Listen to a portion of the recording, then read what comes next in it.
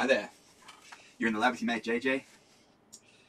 Haven't done a video for a while, so thought I'd record one this afternoon.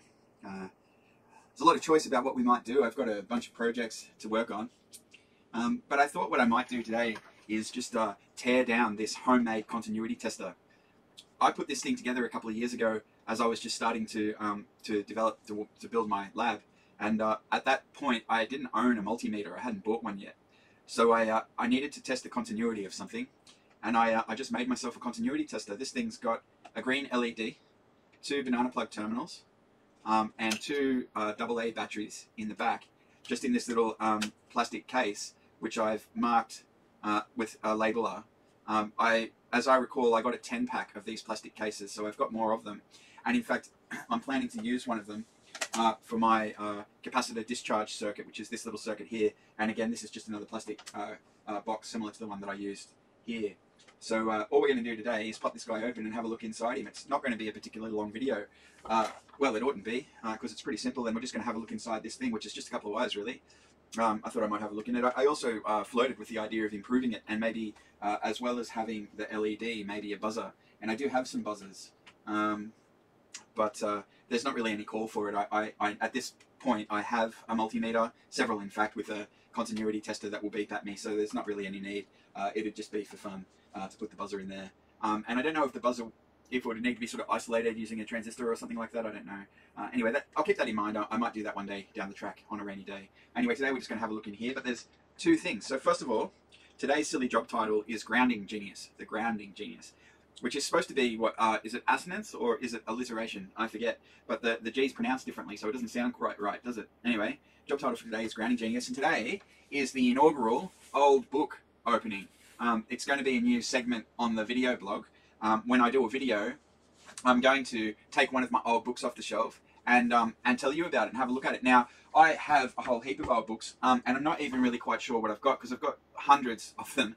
Uh, so uh, it's an opportunity for me, just as well it is hopefully for you, just to see some of this old stuff. There's some really cool stuff floating around. So uh, I might pop you over to the bench so that we can have a look at this book together. And then after we've had a look at the book, we'll have a look at this circuit. Um, and if you have any thoughts or comments about the old book segment, I'd be happy to hear from you. I haven't done it before, so hopefully uh, hopefully that works out okay. So let's jump over to the bench and, uh, and see what we can see. You on here. Now, I wonder. Um, so as you can see, the cover is very faded, um, and you can't even really read the title. But inside, we'll be able to find the title. So uh, this is the Industrial Electronics Reference Book. Industrial Electronics Reference Book and it was uh, by electronics engineers of the Westinghouse Electric Corporation. So this is a, a corporate work. How fascinating. And uh, down the bottom here, you perhaps can't see, but it's uh, published in New York and London in 1948. So it's well old by now. Copyright 1948 by Westinghouse Electric Corporation, all rights reserved. This book or any part thereof must not be reproduced in any form without the written permission of the publisher. Yeah, right. Well, I think I'm about to break that rule, aren't I? Dear me. So uh, this is the fore foreword uh, written in April 1948 by A.C. Monteith, Manager, Headquarters Engineering Departments, Westinghouse Electric Corporation. So there's a forward, and or a foreword. There's a preface. This is the preface. Uh, and then there's a list of the people who contributed. Looks like eight or so people. Uh, and then the contents.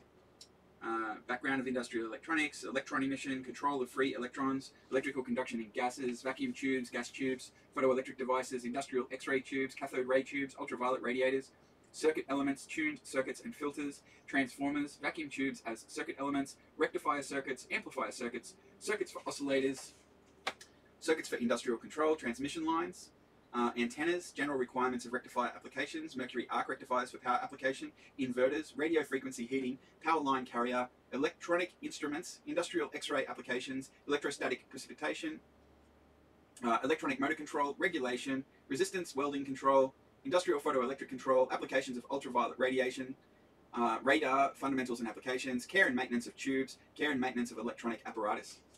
Fascinating. So this was back in 1948, and they were already well across a whole lot of topics, weren't they? So uh, yeah, that's that's pretty interesting. Now I, I, uh, I, haven't done any research on this book, so I don't know uh, if it's worth any money or if there are other people with this book out there. Um, but as part of the uh, the, the uh, blog post that goes with this video, I'll do some research and see what I can find out. And this is the first one that I've done, but I guess I should start uh, a catalogue of, of, of these books, and I'll uh, I'll catalogue this one as the first one, and uh, I'll if, if I've got a link to some notes, I'll give you the link to the notes.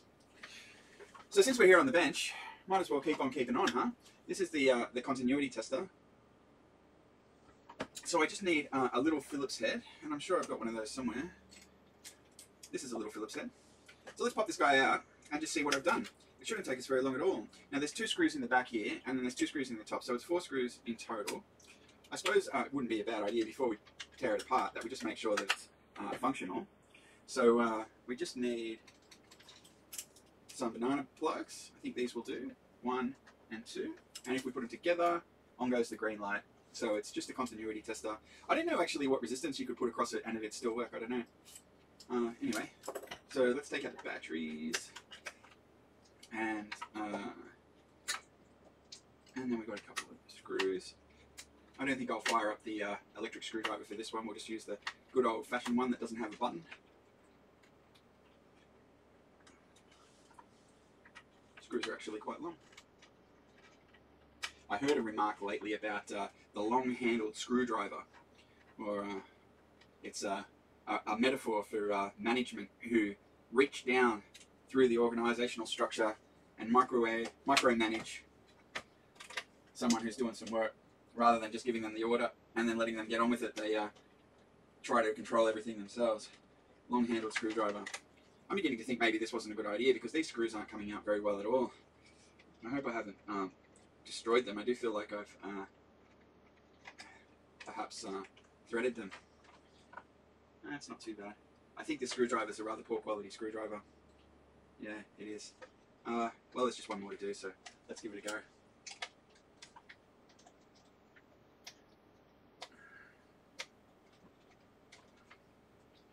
I think the screwdriver was the free one that came with uh, my M2 uh, screw for my uh, NVMe um, drive.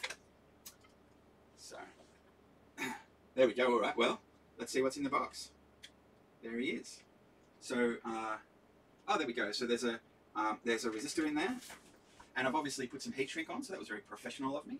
And this guy has been soldered in there. Okay. So uh, with the two terminals, a resistor. I'm not sure what kind of a resistor. That's green, grey, black, by the looks of it green, grey, black. I've got a, um, a cheat sheet over here. So it's green.